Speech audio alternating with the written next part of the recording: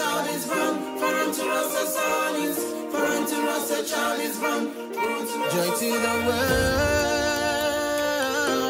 a Savior is born. Savior is born. Come, O ye people, now is the time. For unto us a child is born.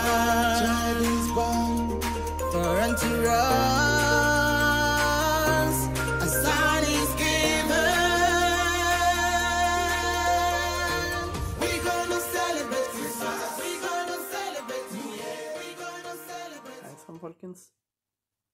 Nå sitter jeg alene. Ja, jeg sitter ikke alene her i sofaen. Jeg sitter og rett og slett bare slapper av litt. For det er nemlig nå 20. desember. Det er fredag. Og jeg sitter her og gleder meg. For det Jeg snakket jo om julekonsert søndag for eh, en del uker siden. Og da snakket jeg om en julekonsert i Sagene. Men nå så gleder jeg meg veldig. For det er julekonsert igjen. Og denne Jeg liker jo å gå på konserter og høre vakker musikk. Hvem gjør ikke det? Og jeg liker veldig godt julemusikken. Det gjør jeg. Men det er én musikk. Det er én sjanger. Det er noen som jeg faktisk gleder meg over å se. De skal jeg se noe i dag. Det er Sølvguttene.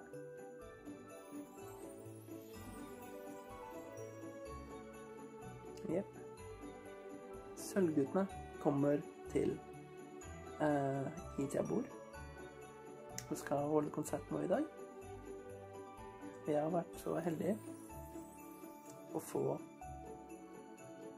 betalt. Um, få tak i billetter. Eller Det er jo ikke jeg som skal Eller som har skaffa disse billettene, da. Det er jo noen andre også. Det er en liten gruppe, på en måte, som vi finner litt på ting sammen, da. Men det er veldig koselig en sånn julekonsert også. Med Sølvguttene. Mm. Syns ikke du det? Julemusikk.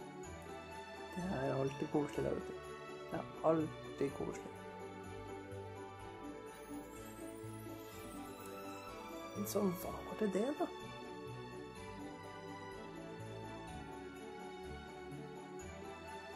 Det er, det er liksom det å finne den musikksmaken du liker. Og jeg husket første gangen jeg hørte Sølvguttene, så likte jeg ikke det musikken hans. Men det er jo lenge siden. Så nå skal jeg bare nyte musikken. Nyte konserten. Så snakkes vi i en annen episode. Og nå, folkens Nå er det bare fire dager til jul. Tida har gått fort. Ha en fin helg. Og en fin fredag. Så ses vi i neste episode. Ta-ta.